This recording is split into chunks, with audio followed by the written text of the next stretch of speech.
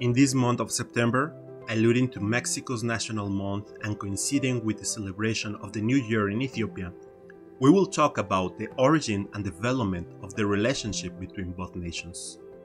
Join us to unveil this fascinating history full of honor and truly impactful lessons. We should approach history throughout a deep analysis of the specific situation of each country, but also considering the principles that govern them as societies as well as their leaders. All of us, both nations and individuals, are capable of doing anything. The difference lies in the limits we set for ourselves. These limits arise from what we call values, and it is this that ultimately manifest in our actions.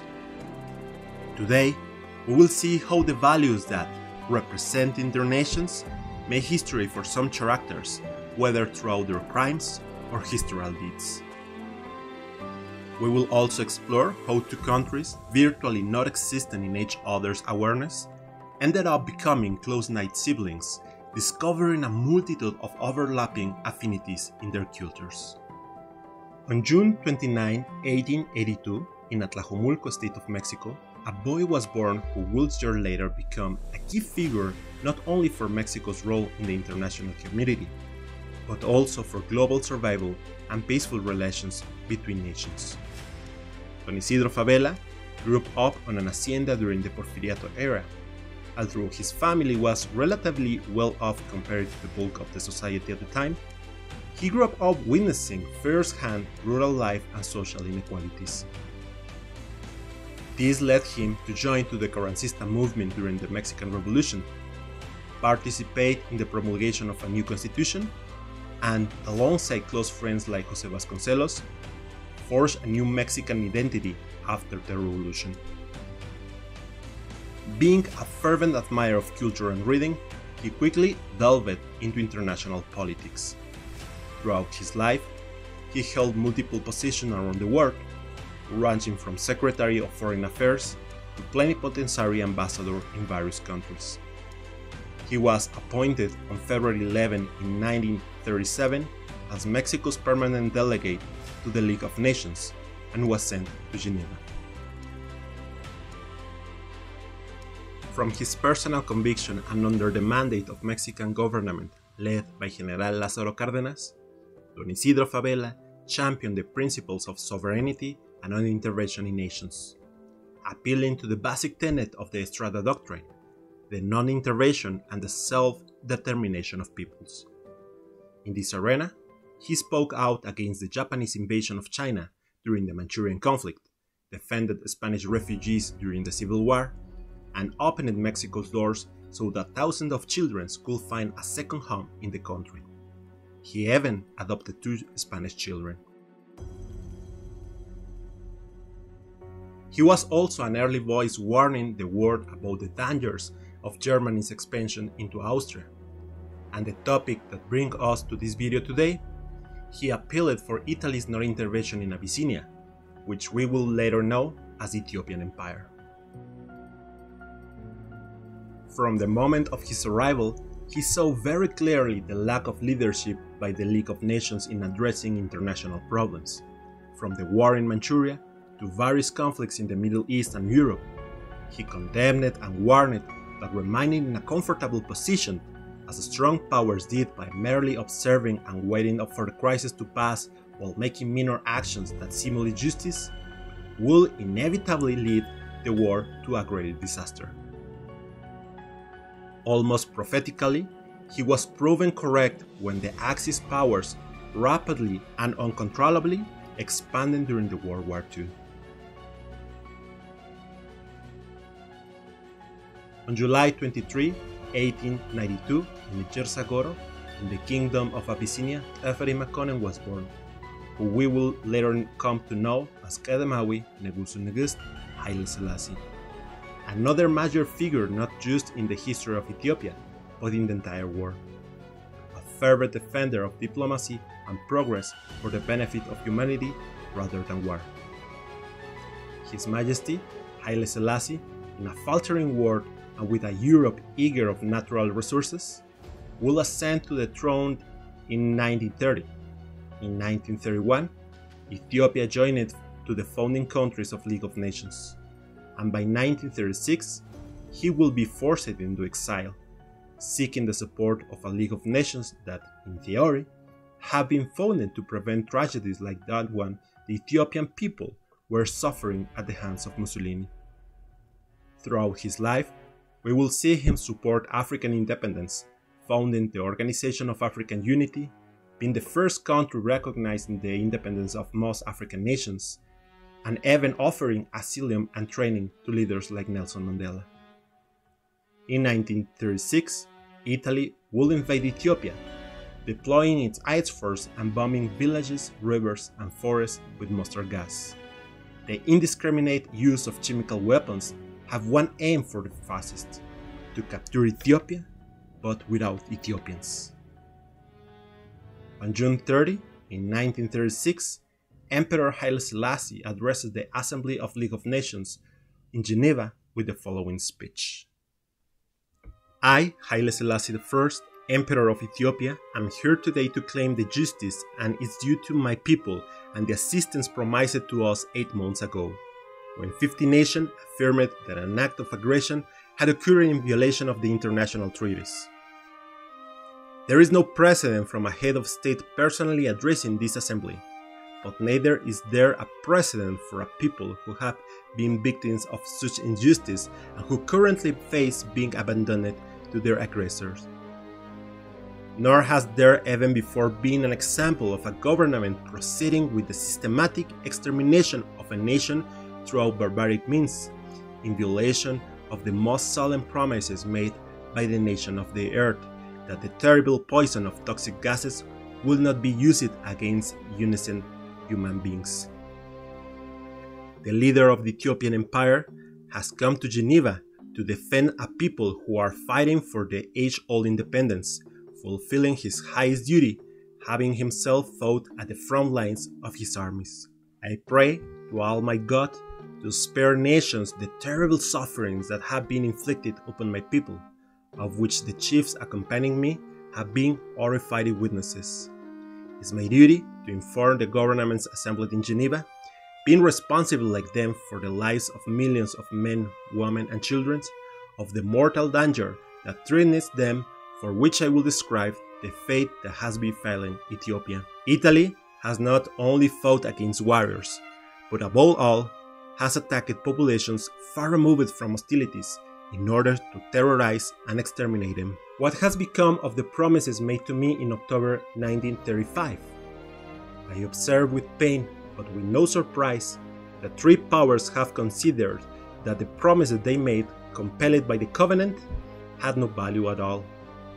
Their relations with Italy led them to reject the adoption of any sort of measures to halt the Italian aggression. On the contrary, it was a profound disappointment for me to discover the attitude of certain government which, while professing to scrupulously uphold the covenant, has tirelessly employed all its efforts to prevent its enforcement. As soon as a measure was proposed that could be immediately effective, various pretexts were found to postpone even its consideration. The Ethiopian government never expected other governments to shed the blood of their soldiers to defend the covenant when their own immediate interests were not at stake. Ethiopian warriors merely asked for the means to defend themselves. On many occasions, I have requested financial assistance to purchase of arms, and that assistance has been constantly denied to me. What then does the Article 16 of the Covenant regarding to collective security means in practice? Apart from the kingdom of the Lord, there is no nation on this earth that is superior to any other. If it happens that a strong government finds it can destroy a weak people with impunity, then the time has come for that weak people to turn to the League of Nations to give their view in complete freedom. God and the history will remember your judgments. This speech was a critical moment not only in the history of Ethiopia, but also in the international stage, as it exposed the impotence of the League of Nations in stopping aggression and protecting the sovereignty of its weaker members. Haile Selassie became a symbol of resistance against imperialism and oppression, and his call for justice continued to resonate today as a reminder of the importance of upholding the principles of international law and human dignity. Sadly, but in line with its own values and interests, the League of Nations merely pretended to support Ethiopia by agreeing to a series of sanctions against Italy. Sanctions that were never carried out due to the other agreements signed between powers and Mussolini. By the end of the same year, the same organization officially annexed Ethiopia to Italy, thereby allowing Italian troops to enter to Addis Ababa without any resistance. In 1937, Italy requested that Ethiopia be removed from the League of Nations. Although the request was denied unauthentically, Ethiopia was gradually omitted from the institution's official documents. Mussolini didn't want to remove Ethiopia from the League of Nations. He wanted to erase Ethiopia from the earth. In the dictator's own words, he wanted Ethiopia without Ethiopians. Here, in a masterful move that is scarcely documented, but no thanks to the stories our grandparents have told us over the years, Don Isidro Fabela, newly arrived in Geneva and witnessing such a mockery of the League of Nations Charter, as well as the nation's indifference toward the Ethiopian crisis, went so far to stand up in his seat to raise his voice and question the existence and authority of the organization. What is the point of a League of Nations if you all just sit here watching countries be destroyed and human life exterminated? Mexico, in its self awareness as a vulnerable nation, could not allow others to be left to the mercy of imperialist inclemency and the power of those who consider themselves stronger.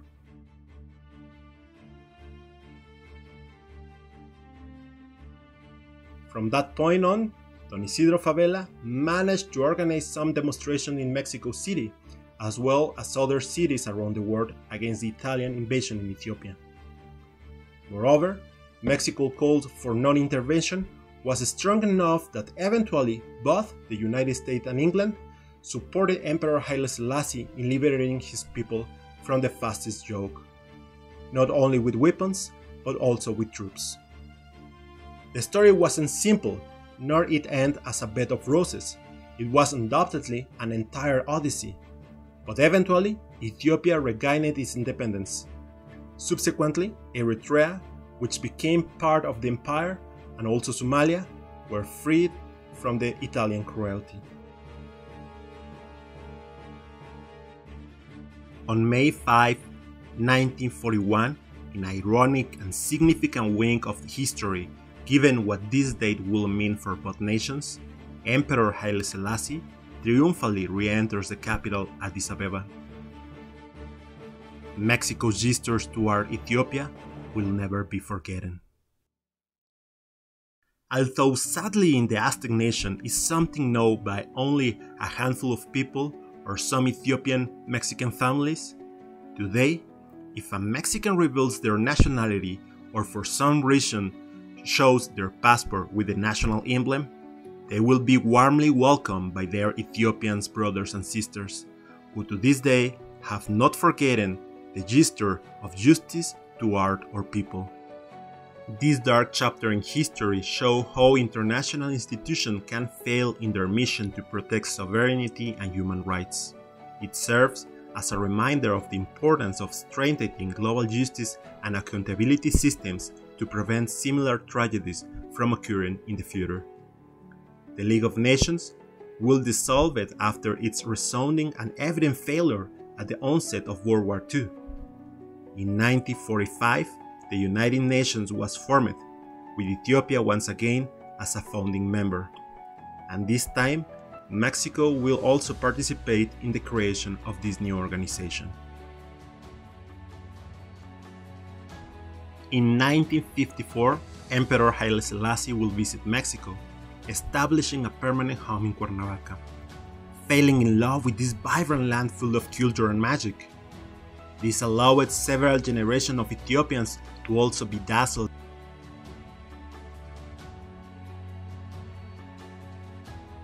Among them, I can highlight my grandfather, engineer Wendy Frau who studied civil engineering at the National Polytechnic Institute. Many other important figures in Ethiopian history also did so, including the former Prime Minister of Ethiopia, Haile Yemano, who earned a degree in agricultural engineering from the National Agrarian University of Chapingo. Ministers of Health, generals, and researchers in agrarian development were also among those who studied in Mexico. Mexico and Ethiopia will establish a somewhat complex relationship due to the physical distance, but one that is enduring due to the shared affinities and common interests.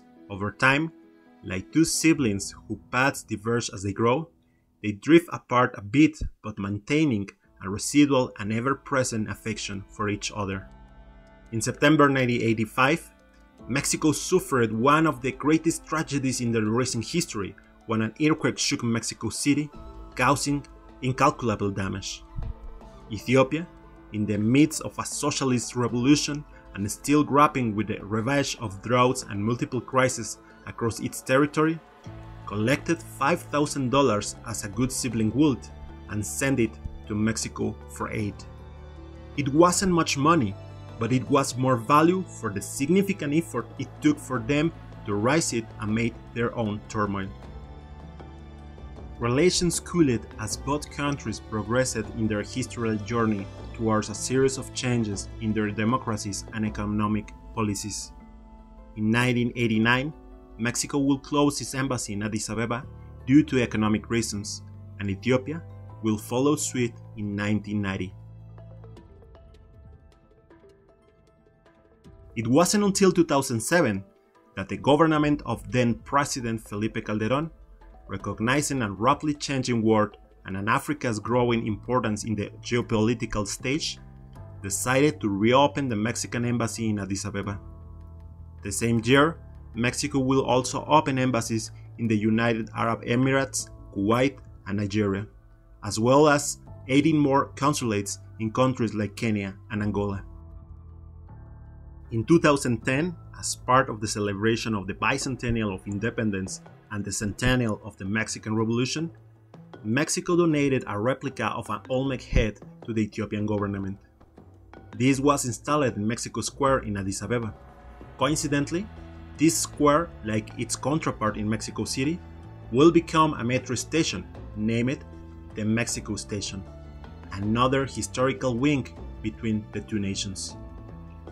In July 2010, Ethiopian Prime Minister Meles Zenawi arrived in Cancun to attend the 2010 United Nations Climate Change Conference, the COP16. In June 2012, Prime Minister Meles Zenawi returned to Mexico to participate in the G20 summit in Los Cabos.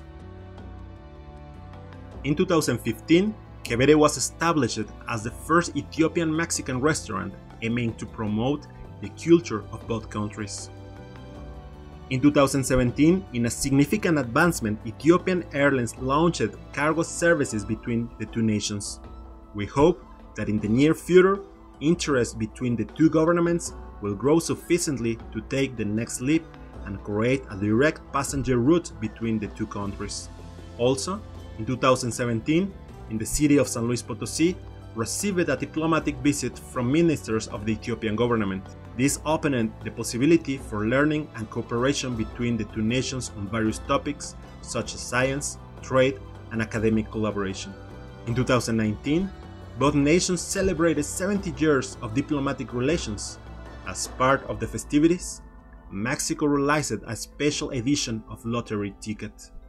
Today, the similarities are many, ranging from a very similar population size the importance of both in their respective regions, cultural overlaps, as well as shared challenges and opportunities.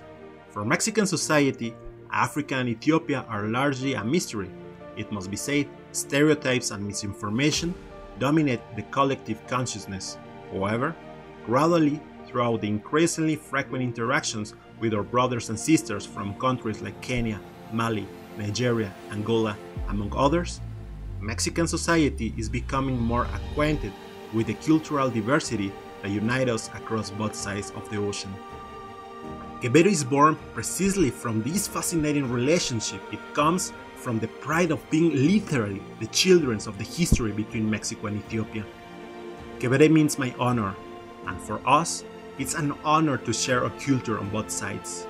It's an honor to help improve cooperation and development between siblings who often have more in common than they are aware of. There is an exciting future that can be built in trade, in tourism, in science and technology, in spirituality, learn from each other's history, culture, or people, and so much more. Kebere has been evolving. We started by offering you food, and while staying true to our original mission of sharing culture, we are transforming into a platform to connect both regions. Many more surprises and projects that we are preparing are yet to come. So if you are interested in visiting Ethiopia or discovering the opportunities that Africa has for you, don't forget to subscribe to the channel, leave us a like, your comment, and help us sharing this video. For us, it's a pleasure, an honor, and always a joy to share with you. Thank you very much, and see you next week.